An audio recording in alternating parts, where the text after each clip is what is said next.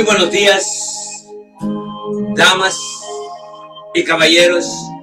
Muy buenos días tengan todos ustedes. Que la paz y el gozo de Dios esté en el corazón de cada uno de ustedes. Que la paz y el gozo de Dios continúe en la vida de cada uno de ustedes. Desde los estudios del ministerio del evangelista, difundimos las buenas nuevas acerca de Jesús y su gracia salvadora. Nuestra misión es guiar a las personas a una relación más íntima, más intensa con nuestro Señor Jesús. Bienvenidos todos a los estudios del ministerio del evangelista. Amados hermanos, el tema de esta mañana es ¿qué es una fe salvadora? ¿Qué es una fe salvadora? Hablamos la Biblia y leemos en el libro de Efesios, capítulo 1, versículo del 13 al 16. 13 al 16 lee de esta manera.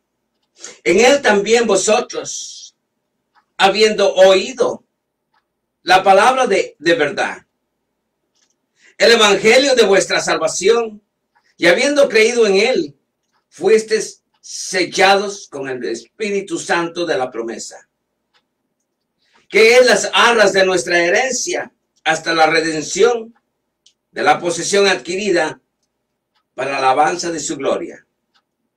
Por esta causa también yo, habiendo oído de vuestra fe en el Señor Jesús y de vuestro amor para con todos los santos.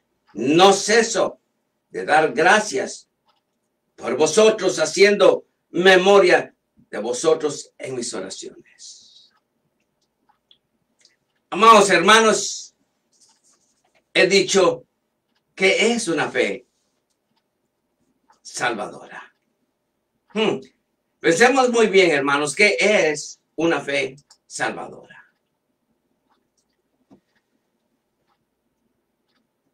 Ahora la Biblia habla de diferentes aspectos de la fe, como una fe que obra, una fe que sirve, una fe viva y una fe verdadera. Y así sucesivamente, hermanos. Pero cuando eres salvo, cada área de tu vida brilla a través de tu fe. He dicho, pero cuando eres salvo, cada área de tu vida brilla a través de la fe. Y cuanto más conocimiento tienes en la palabra de Dios, más fe desarrollamos. Ahora en este libro de Romanos 10, de 1 al 13, Pablo está orando para que el pueblo de Israel sea salvo.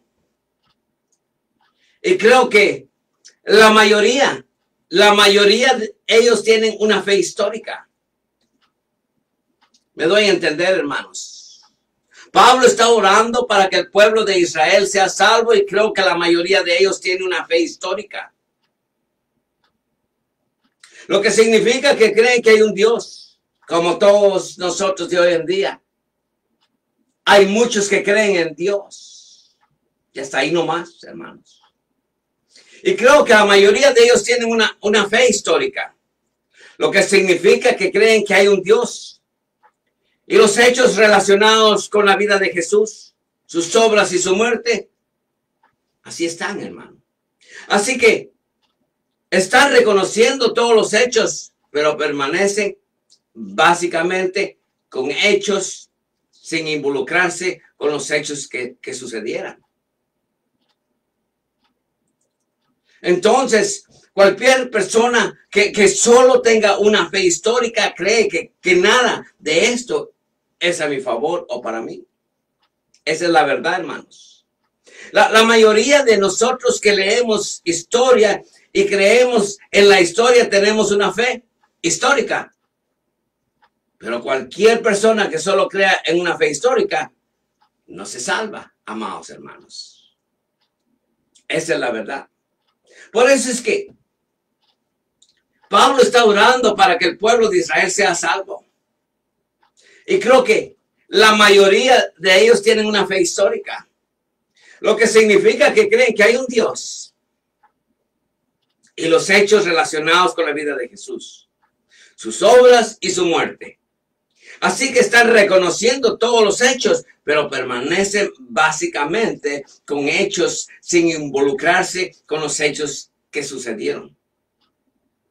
Entonces, cualquier persona que solo tenga una fe histórica cree que nada de esto es a mi favor o para mí. Así es, hermano. La mayoría de, de nosotros que leemos historia, podríamos poner como ejemplo, que leemos historia y creemos en la historia, tenemos una fe histórica. Pero cualquier persona que solo crea en una fe histórica no puede llegar a ser salva. Hemos visto y sabido que la creencia en Jesús es el, es el núcleo del cristianismo. Ahora vamos a ver algunas de las implicaciones de esa fe salvadora. No de una fe histórica, pero de una fe salvadora. La pregunta esta mañana es esta. ¿Has aceptado el sacrificio de Jesús en la cruz? En su nombre. ¿Alguna vez has aceptado a Cristo como Señor y Salvador? Debes tomar el tiempo hoy, en esta mañana, para examinar tu salvación. Podemos decir, el conocimiento de quién es Jesús y de lo que hizo debe estar acompañado por la fe de que los hechos son ciertos y que se aplican a nosotros. Me he dado a entender, hermanos. Déjenme explicarles nuevamente. Hemos visto y sabido que la creencia en Jesús es el núcleo del cristianismo. Ahora, Vamos a, ver algunas de las implicaciones de esa fe salvadora, no de la fe histórica, sino que de la fe salvadora. Y la pregunta viene, ¿has aceptado el sacrificio de Jesús en la cruz en su nombre? ¿Alguna vez has aceptado a Cristo como Señor y Salvador? Son dos preguntas. Ahora bien, debes tomar el tiempo hoy, en esta mañana, para examinar tu salvación. El conocimiento de quién es Jesús y de lo que hizo debe estar acompañado por la fe de que los hechos son ciertos y que se aplican a nosotros. No es así, hermanos. Hemos visto cuáles son las creencias y principios fundamentales del cristianismo. Concentrémonos ahora en los otros aspectos de la fe. Una vez más, no la fe histórica, sino que una fe salvadora. Dice la palabra, mas ahora Cristo ha resucitado de los muertos. Primicia de los que durmieron es hecho. Porque por cuanto la muerte entró por un hombre, también por un hombre la resurrección de los muertos. ¿De acuerdo? Primera de Corintios, capítulo 15, versículo 20 al 21. Ahora bien, el conocimiento de quién es Jesús y de lo que hizo debe de estar acompañado por la fe de que los hechos son ciertos y que se aplican a nosotros. Amén. Ahora bien, amados hermanos, debemos comenzar por entender que hemos violado la ley de Dios y eso, hemos quebrantado la ley de Dios y por eso nos hace pecadores. He dicho que debemos comenzar por entender que hemos quebrantado la ley de Dios y eso nos hace pecadores. Como está escrito, no hay justo, ni aún uno, no hay quien entienda, no hay quien busque a Dios. Todos se desviaron, aún se hicieron inútiles. No hay quien haga lo bueno, no hay ni siquiera uno, dice Romanos 3, 10 y 12. Lo que quiero dar a entender, amados hermanos, que no hay justo, pero ni aún uno dice. Así es. Así dice. Dice las escrituras, no hay ni un solo justo, ni siquiera uno, dice. Nadie es realmente sabio, nadie busca a Dios. Todos se desviaron, todos se volvieron inútiles. De acuerdo a la palabra. Entonces, por cuanto todos pecaron y están destituidos de la gloria de Dios, Romanos 3:23. A la verdad, todos nos hemos nacido con una naturaleza que se revela contra el Señor. Número dos. Segundo, reconocer que ninguno de nuestros esfuerzos puede hacernos merecedores de su perdón algo muy importante en esta fe salvadora. Reconocer que ninguno de, nuestros esfuerzos puede hacernos merecedores de su perdón. ¿Por qué, hermanos? Porque por gracia sois salvos por medio de la fe. Y esto no de vosotros, pues es don de Dios. No por obras, para que nadie se gloríe. Efesios capítulo 2, versículo de 8 al 9. Amados hermanos, Dios nos salvó por su gracia cuando llegamos a creer en Jesucristo. Así es, hermano. Dios los salvó por su gracia cuando creyeron. Ustedes no tienen ningún mérito en eso. Es un regalo de Dios. La salvación no es un premio por las buenas cosas que hacemos o que hayamos hecho.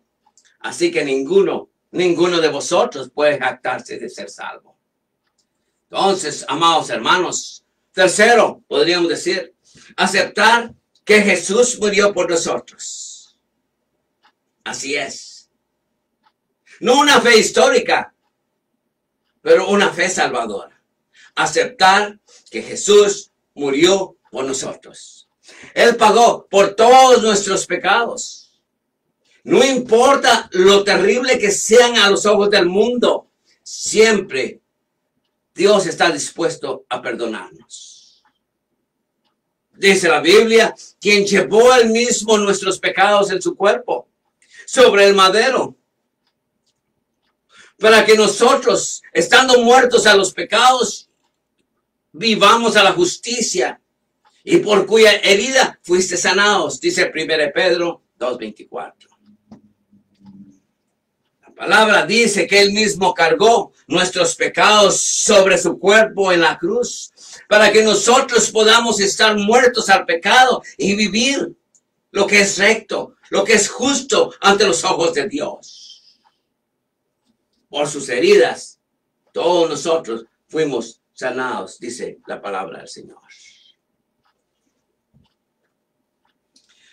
Número cuarto, amados hermanos, entender que la muerte de Jesús fue el pago por nuestros pecados y que no se necesita nada más más que la muerte de Jesús.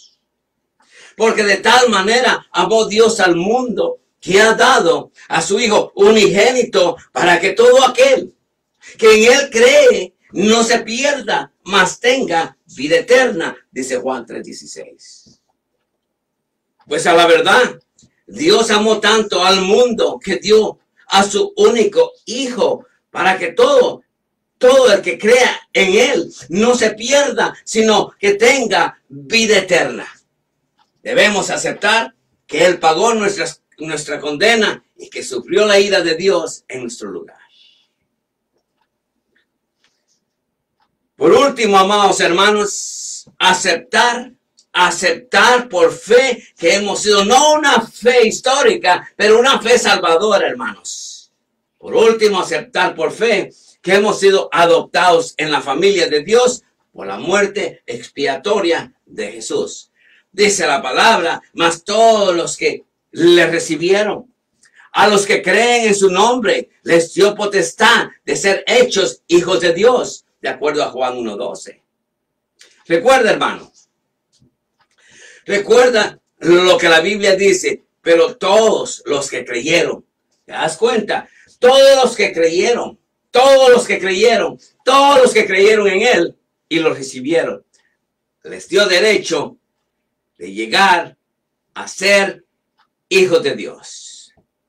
Entonces, la palabra nos exige, por lo cual salir de en medio de ellos y apartados, dice el Señor, y no toquéis lo inmundo, y, y yo os recibiré y seré para vosotros Padre, y vosotros me seréis hijos e hijas, dice el Señor Todopoderoso. Segunda de Corintios, capítulo 6, versículos 17 al 18. Entonces, amados hermanos, muy simple. La Biblia nos dice muy claro. Y yo seré padre. Y ustedes serán mis hijos e hijas, dice el Señor, Dios Todopoderoso. La invitación es para toda la humanidad. Para toda la humanidad. Pero no todo el mundo tiene convicción verdadera. Muchos ven esos hechos como información, como historia, no como verdades transformadoras. Una vez que estamos convencidos de que Jesús es nuestro Señor y Salvador, se demuestra por medio de la acción una fe con obras, amados hermanos. Entonces, amados hermanos, a la verdad es esta. Debemos entender que somos pecadores y que necesitamos una fe, no una fe histórica, pero una fe salvadora.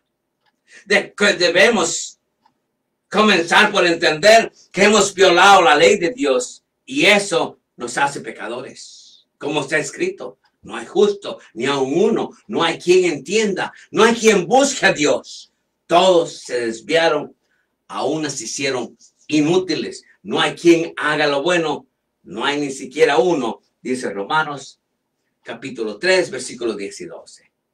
Como dicen las escrituras, no hay ni un solo justo, ni siquiera uno. Nadie es realmente sabio, nadie busca a Dios.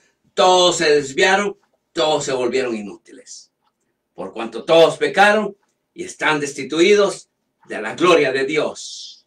Dice Romanos 3:23. La verdad, hermanos, todos hemos nacido con una naturaleza que se revela a Dios. Ahora, vamos a llegar a la conclusión. Ahora la Biblia habla de diferentes aspectos de la fe como una fe que se pone en obra, una fe que sirve, que nos da ese deseo de servirle al Señor, una fe viva y una fe verdadera, y así sucesivamente.